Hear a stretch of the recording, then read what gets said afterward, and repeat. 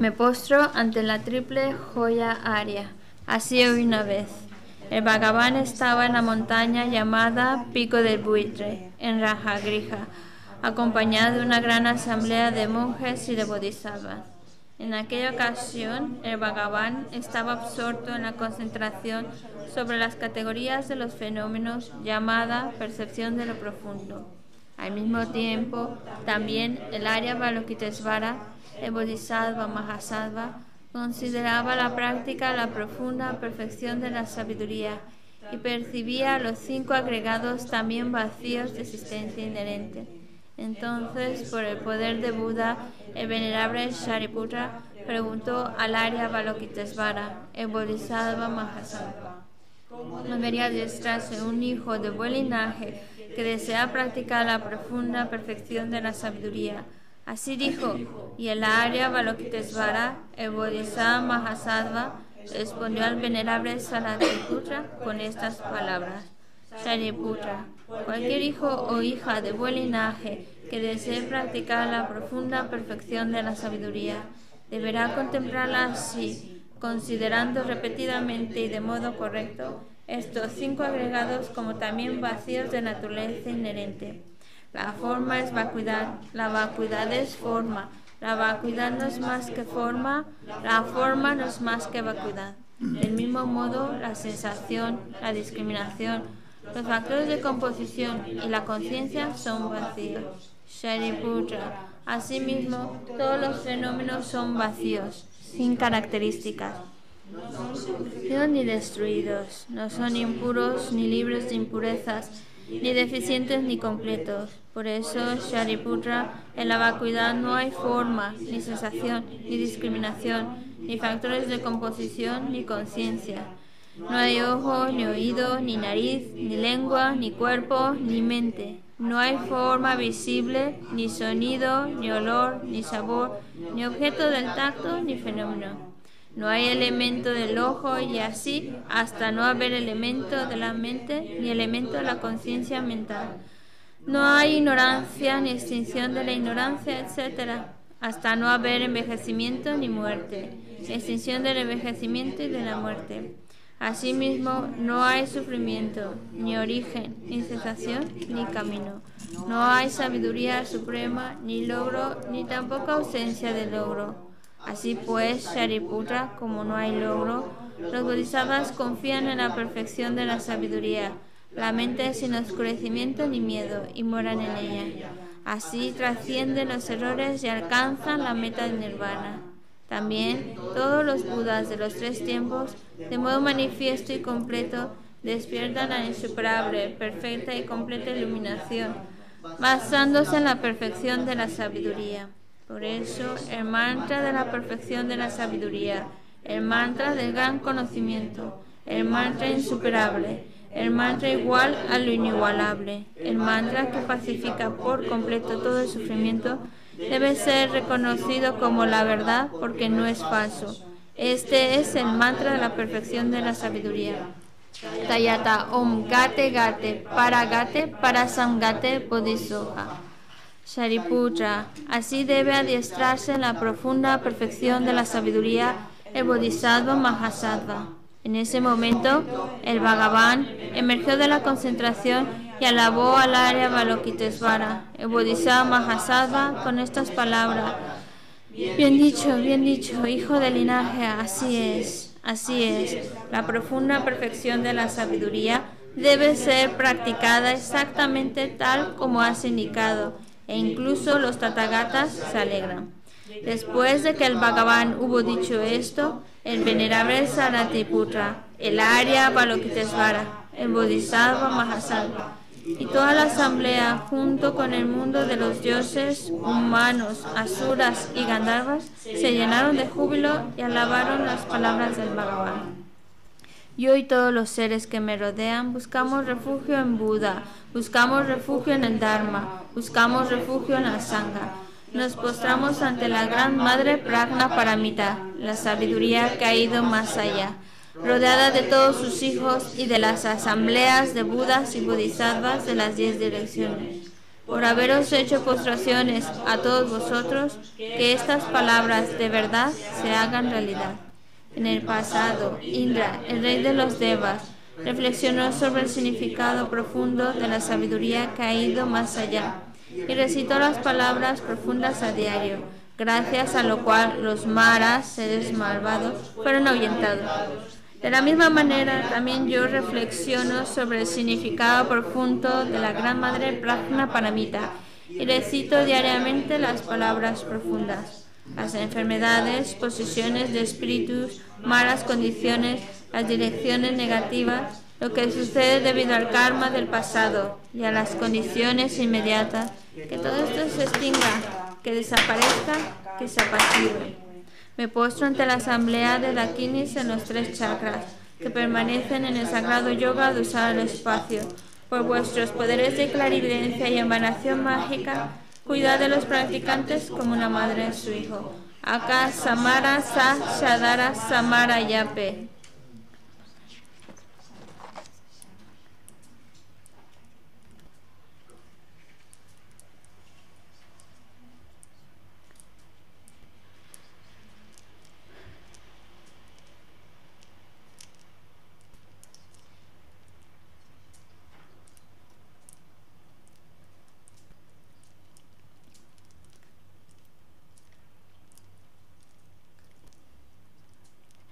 Akasamara Sashadara Samarayape Ayata Om Gate Gate Para Gate Para Samgate Bodhisoja. Por las enseñanzas de las tres joyas supremas que poseen el poder de la verdad, que los obstáculos internos y externos se transformen, que se disipen, que se apacigüen, Soja, que todas las fuerzas negativas opuestas al Dharma sean completamente apaciguadas que la hueste de 80.000 obstáculos sea apaciguada, que seamos separados de los problemas y las condiciones dañinas para el Dharma, que todos los goces estén de acuerdo con el Dharma y que haya auspiciosidad y felicidad perfecta aquí y ahora mismo. Vamos a la página 98. 98. Lo hacemos en tibetano. 오사시부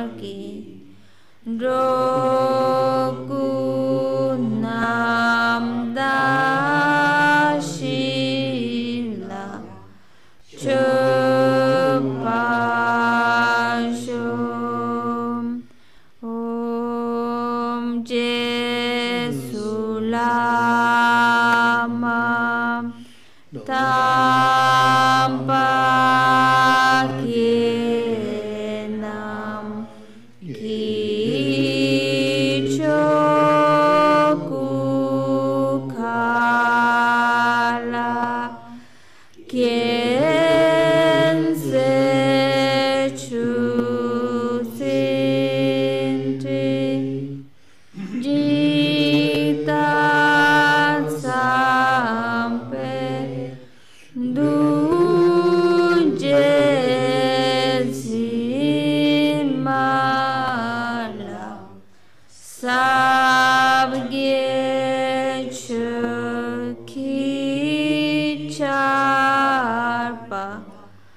Baptuson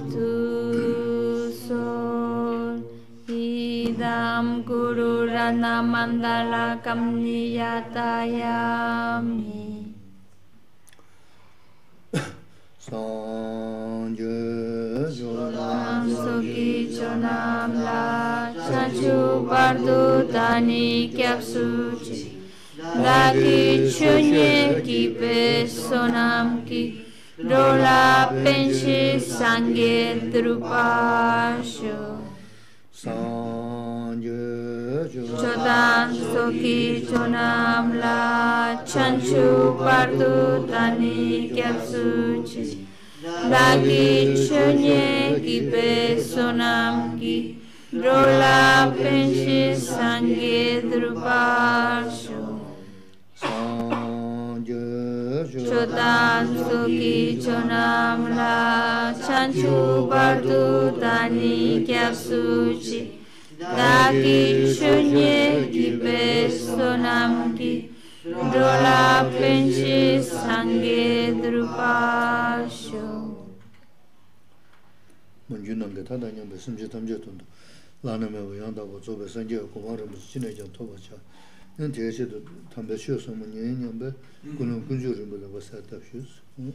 Ojalá, por escuchar estas sagradas enseñanzas, nosotros estemos generando una buena motivación. Es decir, querer escucharlas para poder alcanzar ese estado perfecto y completo de un Buda y así poder guiar a todos los demás seres, nuestras madres, a este mismo estado iluminado.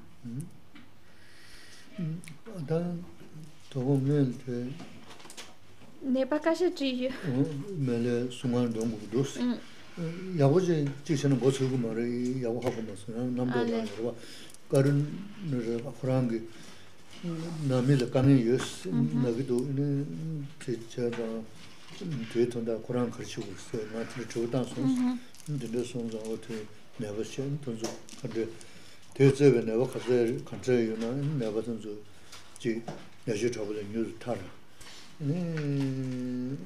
tindayagi ini taya koko mengi naso za chabu ino chi pato chamla ya kange manyo ya ini milyo den toba wa tindayagi monglum jaru shis ini taga na shingi tanda naiba shi yore ini shi sange mangu yore oto su kanka la dhiji nyudu dendru densang toba da kange le choya tindayagi monglum jaru shis Y bueno, pues el otro día se acercó Carolina, esta chica que viene a hablar con Geshe-la, y Geshe-la dice, no, no nos pudimos aclarar muy bien qué era lo que sucedía, pero creo que lo que entendí es que algunos, no sé si, es que ni siquiera entendió bien si era uno o varios, los que estaban enfermos en su familia, y entonces ella se acercó para preguntarle qué podía hacer para ayudarles. Entonces, pues,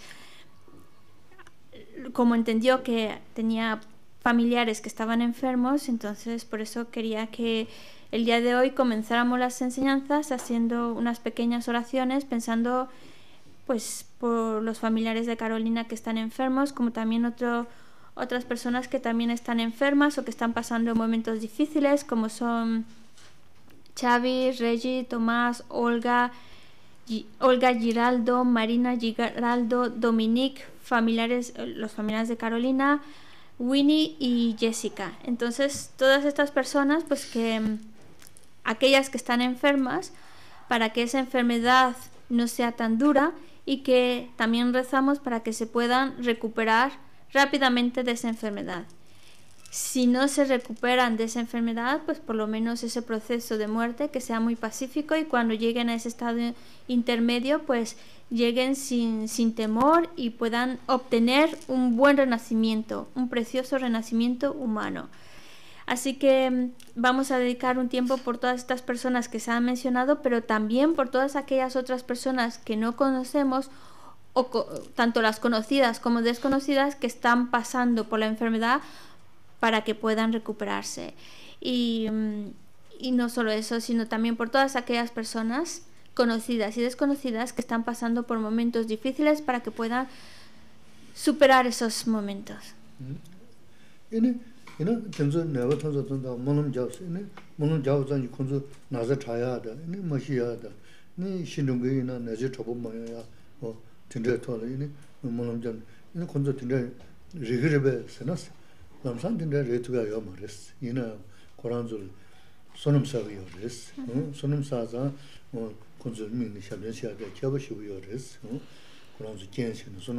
Res. Zo nga nga zo changi ira nga sonam sabi yo res. Y mm, ahora estamos pues pidiendo por, por las personas que están enfermas y estamos, estamos haciendo estas oraciones para que aquellos que están enfermos puedan curarse, para aquellos que, que están falleciendo, pues para que ese proceso de la muerte sea lo más pacífico posible o para aquellos que ya han muerto, pues para que donde quieran que estén no la estén pasando mal y que rápidamente puedan tener un en ese estado intermedio no la estén pasando mal y que puedan obtener un buen renacimiento. Entonces también estamos vamos a dedicar este tiempo a esta oración, pero también es verdad que algunos puedan preguntarse, con mi oración quiere decir que los que están enfermos se van a curar, los que están pasando mal se van a eliminar esas esas dificultades, la respuesta es no, no es, no es que inmediatamente se van a curar o se va a eliminar sus problemas, pero mm, el hecho de encontrarse con esos problemas es por la falta de mérito. Cuando nosotros hacemos oraciones, pues estamos acumulando mérito. Y ellos, al ser la condición que nos lleva a hacer oraciones, entonces ellos también se están beneficiando de las oraciones que hagamos. Porque en primera instancia, somos nosotros quienes estamos recitando estos mantras, quienes hacemos estas oraciones, pero como son estas personas, estos seres los que nos inspiran para que las hagamos, también ellos se benefician de nuestras oraciones. Mm. ¿Te sabes en qué página está el, mantra de Buda la medicina? Sí. no me lo sé. 206. Vale, la página 206. 206. Sí, la página 206. Y la pronunciación dice el mantra del Buda de la medicina. Vamos a hacer ese mantra. Y la pronunciación es lo que está en letras pequeñas.